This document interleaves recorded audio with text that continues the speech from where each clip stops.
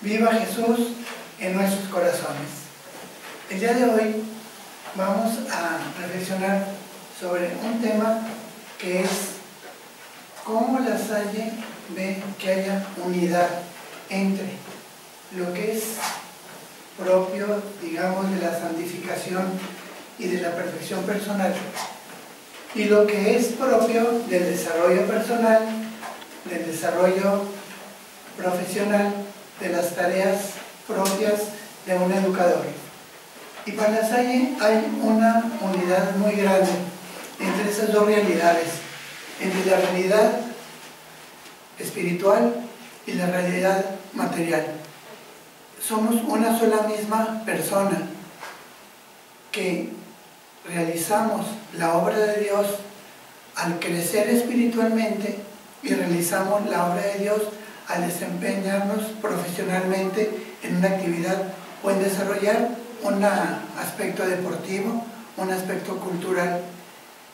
Lo que la Salle quiere insistirnos es hagan unidad en cierta mentalidad eclesial.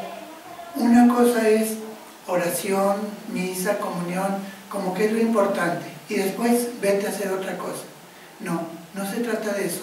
Se trata de que procuramos la gloria de Dios realizando todo aquello que nos es propio en nuestra profesión y todo aquello que nos es propio en las partes religiosas, espirituales. Hay un detalle que me parece muy interesante para mostrar la unicidad que piensa la Salle.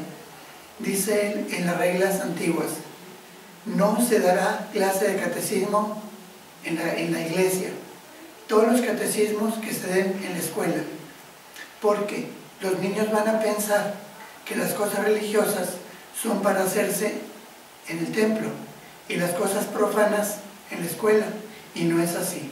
Tanto lo religioso como aquello que llamamos profano se vive en la escuela cristiana en la misma forma, porque todo es obra de Dios. Obra de Dios es nuestra santificación obra de Dios es nuestro apostolado. Subimos, dice la Salle, al cielo como los ángeles y bajan después a traer la gracia de Dios a la tierra. Pero es la misma gracia la que recibimos, la que damos.